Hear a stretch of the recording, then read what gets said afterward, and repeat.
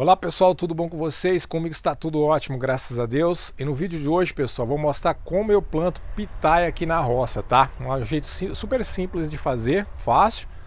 Vou mostrar também como tirar as mudas, tá? Como fazer a poda, como colher o fruto, como cortar. Vai ser um vídeo bem legal. Vem comigo.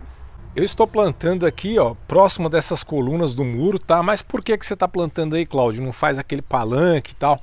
Porque aqui, na verdade, pessoal, como já tem as colunas, ó, são várias, e aqui também pega mais sol, tá? O sol aqui praticamente pega a maior parte do dia. E a pitaia gosta bastante de sol, tá? Por isso que eu vou estar tá plantando aqui. Além de estar tá decorando as colunas, né? Tá dando frutos. Então por isso que eu vou estar tá plantando uma variedade aqui, né? Da amarela, da branca e da vermelha, tá? Aí eu vou estar tá plantando aqui, mostrando para vocês como que eu faço. Essa muda aqui, pessoal, paguei R$19,90, tá com desconto, ficou por 15 reais. Essa aqui é da amarela, né? Pitaia colombiana amarela. Aí no caso eu já comprei essas mudas grandes assim para poder fazer outras mudas, tá? Aí eu vou estar tá plantando aqui agora. Vou remover essa sacola, tá? Você vê que a terra tá bastante mexida já, ó. O certo é tirar até com a faca, mas como eu tô sem faca aqui, a faca ficou lá dentro. Aí eu vou tirar com a tesoura aqui mesmo. Lembrando que tem sempre que tirar essa... Lembrando que tem sempre que tirar essa sacola, tá pessoal? Não pode plantar com essa sacola não, tá? Olha só pessoal, ela tá bastante molhada, ó. Tá até soltando aqui, eu tirei da sacola. Aí lembrando na hora de plantar que você tem que colocar essa, essa parte lisa junto aqui com, no caso, a coluna, o morão, né? Onde você for plantar, essa parte lisa aqui que vai sair mais raízes, tá? Todas essas partes aqui, essas três partes, ó, ela sai raiz, porém essa parte lisa é que sai mais, né? Então é ela que vai ficar encostado no, no caso aqui na coluna, tá? Aí eu vou levar aqui pro, pro buraco. Você vê que ela tá desmanchando. Mas não tem problema não, tá? Esse aqui pega muito fácil. Eu vou estar tá tirando esse bambu depois aqui. Pronto, pessoal. Agora eu vou colocar a terra. Vou estar tá tirando isso aqui que não tem necessidade, tá? Que eu vou estar tá amarrando aqui no caso com barbante. Aí vou colocar essa terra aqui.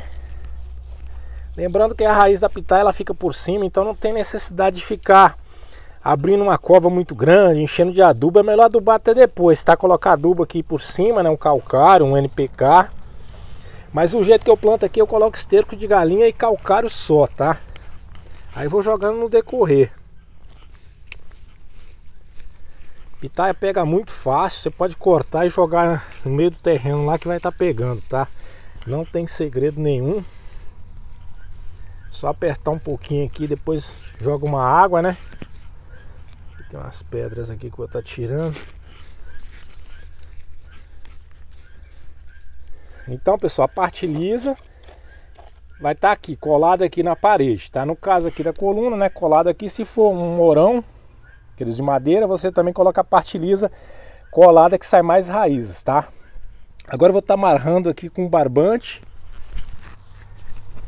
Vou tirar esses fitilhos daqui, pessoal, aqui a gente chama de fitilho. Para você ver que costuma machucar a planta, ó. Ele aperta muito, pelo fa o fato de ser um plástico, ele acaba machucando um pouco a planta. No caso aqui o cladódio, né? Que é essa folha em formato de caule. Agora eu vou pegar o barbante e vou amarrando com barbante. Eu gosto de usar esse daqui, ó, que dá para eu reutilizando aí, desamarrando e amarrando novamente, guiando a planta, né? Então, pessoal, eu tiro esse bambu aqui, geralmente coloca, o pessoal coloca quem vende muda, né, para poder sustentar a planta, né? Aí eu vou amarrando aqui, ó, o barbante. Ao invés de dar um nó cego, né, como se diz, eu dou um de laço. Por que, que eu dou um de laço assim? Pra, porque para reutilizar depois fica mais fácil, tá? É só vir puxar aqui e ir fazendo a guia da planta lá, né? Então dá para ir reutilizando. Então, pessoal, tirei aqui o fitilho, né, que é essa fita de plástico e coloquei aqui, ó, barbante, tá de algodão. Facilita, depois é só puxar, né? E tá reaproveitando, ó. Eu dei um lacinho aqui normal, você puxa e amarra, vai guiando. Quando chegar aqui em cima, ó, Geralmente dois dedos acima do morão, no caso aqui da coluna, você corta para ela poder abrir. Depois eu vou estar tá mostrando lá que eu já fiz outras mudas. Então como que é feita a parte da poda quando chegar aqui em cima, tá? Esse cladódio aqui vai subir, vai chegar mais ou menos aqui, o ideal com um palmo, né?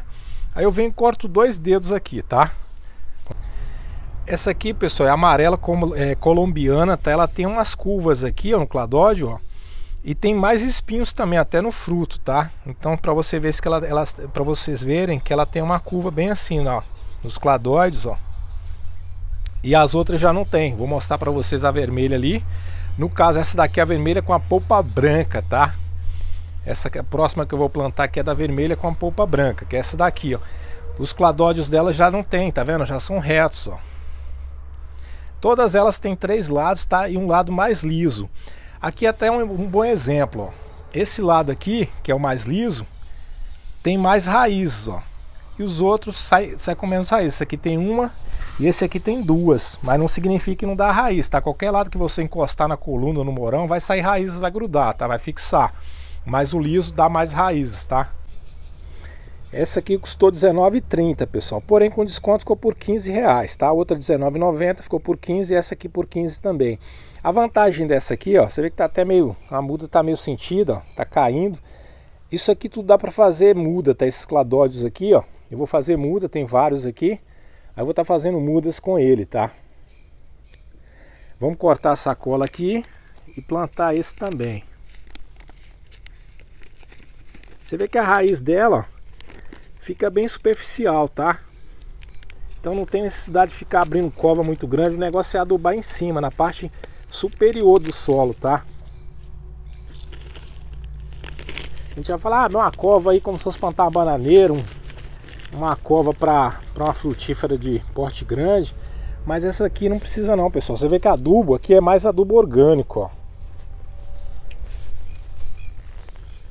Lembrando sempre que a parte lisa para a parede, tá pessoal? Ou para o morão, né? Então a parte lisa vai ficar encostado lá. Depois na hora de pintar, que eu pinto isso aqui com cal, tá? Cal de pintura. Na hora de pintar não vai atrapalhar. Eu fiz um teste com outra muda lá dentro. Depois vou estar tá mostrando para vocês. E funciona bem, tá? Dá para pintar tranquilo. Você pode estar tá guiando a planta também, né? Pode estar tá podando. Não precisa deixar ela muito grande, né? Depois vou falar até a questão do tempo de poda.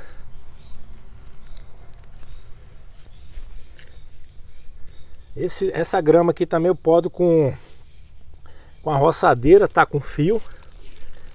para dar o acabamento, né? Corto com um carrinho de grama e, a, e a, o canto dos muros eu vou fazendo com, com a roçadeira. Eu não cortei aqui ainda que tinha acabado, né? Então tá um pouco grande nos cantos. Vou tirar os cladódios aqui, pessoal, para fazer muda, tá? Uma tesourinha aqui velha, mas funciona bem, ó. Então isso aqui tudo vai ser muda. Como já está caindo, ó, como esse daqui também já está caindo, o lado liso, pessoal, como eu falei, ó, tá vendo? Já está até com raiz. Isso aqui você pode plantar até no chão desse jeito que pega, pode virar a cabeça que pega. De qualquer jeito que cair, pega, tá? Eu vou mostrar para vocês. De repente alguém vai falar, ah, isso é bobeira, tem que plantar assim, tem que tirar aqui. Mas de qualquer jeito que você plantar, isso aqui é igual cactus normal da mesma família e pega fácil, tá? Depois vou mostrar para vocês. Então aqui tem outras mudas, ó. Por isso que é bom comprar uma muda grande para estar tá plantando. Aqui eu vou estar tá plantando ali. Dá até para fazer mais uma para cá também. Agora eu vou tirar o depois vou ensinar como é que faz ali. Vou tirar aqui os fitilhos, né? Agora eu vou fazer a muda aqui, pessoal, para agilizar o processo de enraizamento, né? A outra eu já plantei aqui, ó. Já encostei na parede com os barbantes, ó. Aí depois eu vou tirando de baixo à medida que vai enraizando e vou guiando até aqui no alto, tá? Vamos para a muda aqui agora. Eu só faço desse jeito, tá, pessoal? Tira aqui, ó. Vou até jogar aqui que já serve de adubo orgânico. A muda eu faço assim, pessoal. Sempre cortando nessa forma, ó. limpando aqui embaixo, ó. Não tem segredo, tá? São três cortes, ó. Ah, Cláudio, mas tem essa parte de baixo aqui, nada, é só raspar aqui que pega. Isso aqui é tranquilo, tá? Como eu falei, de qualquer jeito que você fizer aí pega.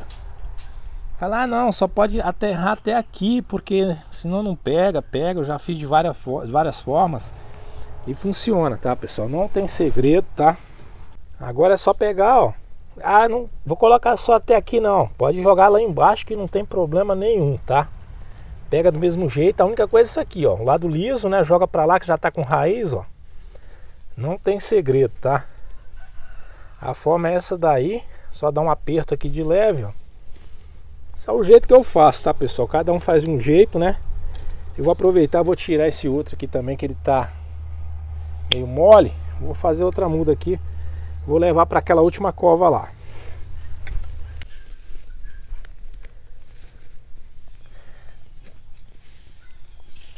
Martiliza para a parede. Aqui, vamos jogar mais esses daqui. Então, pessoal, em cada coluna aqui, ó, são cinco mudas, tá? No caso, nas colunas que eu coloquei a média de duas mudas, em alguns, outro tem uma, né, mas já estão maiores, né? E aí vai desenvolvendo. Eu fiz um teste em outra coluna lá dentro para ver se ficava legal, ficou legal, tá produzindo já, inclusive vou mostrar agora para vocês lá o fruto.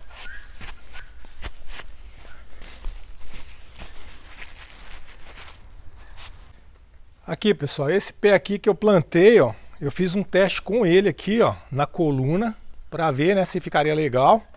E ficou, ó, não atrapalha em nada se eu fosse pintar aqui com a cal, no caso que eu pinto aquele de lá, né?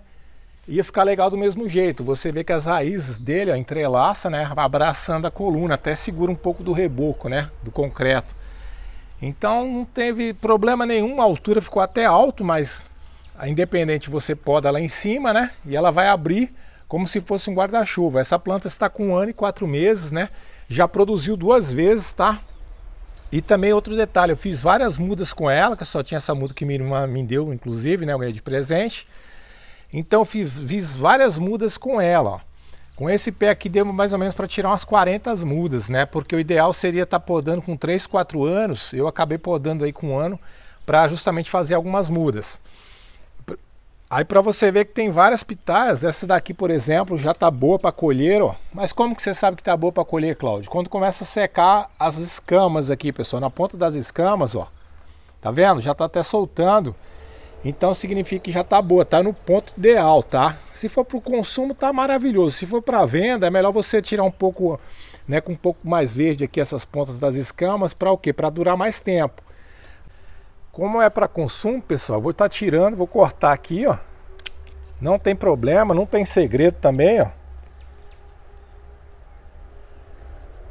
Aí cortei aqui, vou estar tá abrindo ela para vocês verem, tá? Pitaia até um tamanho razoável, a minha mão é grande, bastante até enorme, né?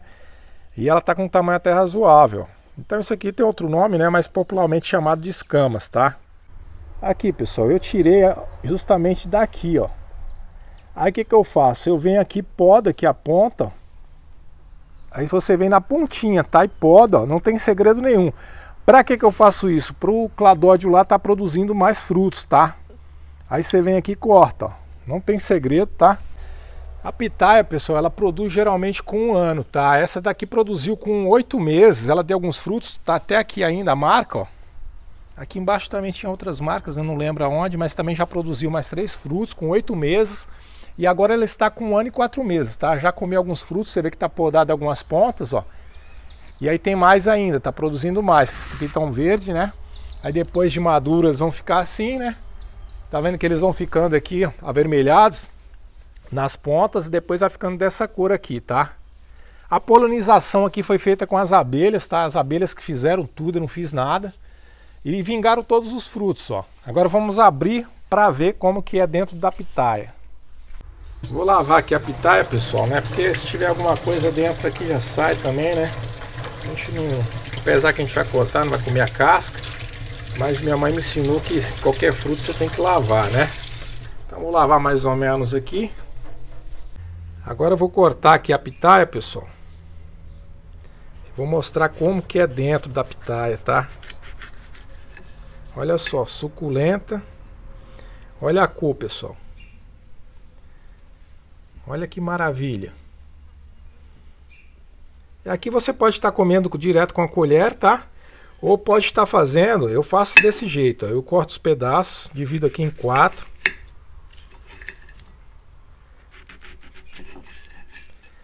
Aí você pode estar dividindo mais, né? Se quiser. Vou abrir só mais um pedaço aqui. Que ela tá até desmanchando já. Como que come? Você pode estar comendo assim também, ó. Só tirar aqui, ó. Puxar e comer, ó. Ou tá comendo com a colher, como eu falei. Esse daqui é outro pé, pessoal. Olha só. Essa daqui é da vermelha também. Aquela que eu acabei de abrir lá, né? E o broto está chegando lá no alto já, ó. Mas eu vou esperar mais ou menos uns 20 centímetros a mais para tá cortando, tá? Aquele lá, ó. Eu vou mostrar para vocês o outro que eu cortei, né? Já está abrindo. Que é justamente esse daqui, ó. Ele já está abrindo já, ó. Esse daqui. Ele já está abrindo lá, ó. Três pontas já, três cladóides, né? Não tem segredo, tá? Vou mostrar de perto.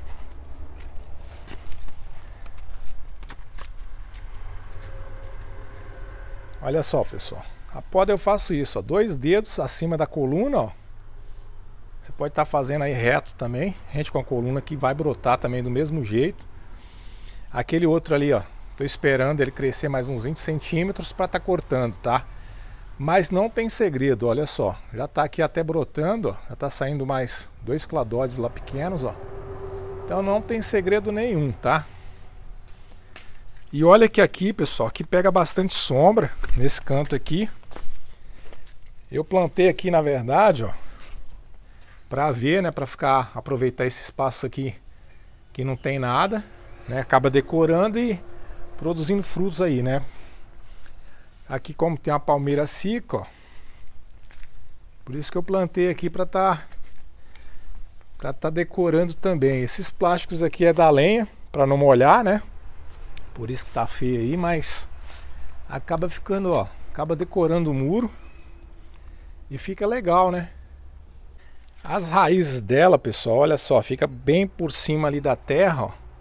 E essa terra é uma terra roxa, né? Ela tem bastante adubo orgânico, então acaba ajudando bastante, ó. Aí ela vai entrelaçando ali na coluna, né? Vai abraçando a coluna, ó para você ver que vai produzindo. Já cortei algumas, tem até alguns com os, os cladóides lá nas pontas cortados, ó, que eu cortei. Mas não tem segredo, tá? Era para estar tá bem mais cheio. Lembrando que tem um ano e quatro meses essa planta. Mas já produziu aí duas vezes essa segunda, né? E vai aumentando no decorrer aí, que vai aumentando os cladóides, né? Vai aumentando também a carga dela, né? Mas é uma planta que já está produzindo legal. Pelo fato de ser nova. E lá tá a outra lá também do mesmo jeito. Agora eu vou mostrar para vocês outros pés lá em cima, tá, pessoal? Essa daqui, pessoal, é a pitaia do cerrado, tá? Ou pitaia baby do cerrado. Pitaia tiu, é, pitaia teu, tem vários nomes, saborosa. Mas tá aqui, ó. Olha a quantidade de pitaia que tem aqui, de, no caso cladóides, né? O pé. Tem bastante, ó. E aqui produz direto, tá pessoal? Geralmente produz aí de dezembro até final de fevereiro, né? Essa é a pitaia do cerrado, tá? Vou mostrar para vocês aqui. Tem mais aqui, ó. Olha só a quantidade que tem aqui de pés, ó. Desde lá de baixo, ó. Aí tem lá naquela pedra ali também. Início da gruta lá também tem bastante, ó. Aí vem aqui. Olha só, pessoal. Vai até no alto da árvore. Ó, tudo pitaia, tá? E produz bastante. Essa pitaia aqui eu acho que é das melhores que tem. É essa daqui, tá? Do cerrado. É doce, né? Ela é igual a amarela, né? A amarela também é doce. Então as melhores que eu acho são elas. A amarela é do cerrado, tá? Olha só a quantidade. Aí já tem aqui, ó. Até um botão floral aqui já, ó.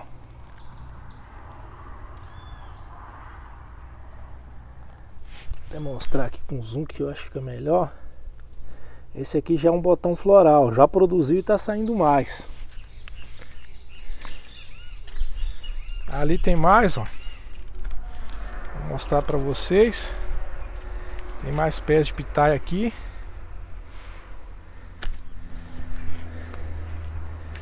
Aqui tem mais, ó. Lá na pedra também tenho, ali em cima. Tem vários pés lá. Aqui já tem até uma com fruto, pessoal, olha só. Nesse aqui embaixo, ó. Esse aqui já é um fruto. Tá verde ainda, né? Mas então tem bastante pitaia aqui. Não tem segredo esses pés. Ah, Cláudio, se você plantou lá em cima, não, eu cortei e joguei lá, tá? Lá também tem, ó. Então vou cortando e jogando nos lugares, pessoal. E vai simplesmente vai produzindo. Olha a vista que tem daqui, ó. Dá pra ver até a entrada da propriedade lá, né? Então, pitaia não tem segredo nenhum, tá? Muita gente fala, tem que fazer assim, assado, tem que jogar NPK, tem que não sei o que. Mas não tem segredo não, pessoal. Aqui eu faço desse jeito. Esses pés de pitaia aqui devem ter mais de 20 anos, tá? Aí com ele que eu fui espalhando, ó. Ali também tem mais pés, ó. Não sei se eu mostrei aqui. Então ali também tem bastante ali, ó. E produz, tá? Não é só o pé não, produz bastante frutos aí. Tem, ali também tem horário por nobres, ó. Aquelas plantinhas da folha lá, são tudo horário por. Então, não tem segredo, pessoal. Produz bastante, tá? E o vídeo de hoje foi esse aí, pessoal. Espero que tenham gostado. Se inscreva aí no canal Cláudio Novaes Vida na Roça, curtam e compartilhem. Obrigado e até mais.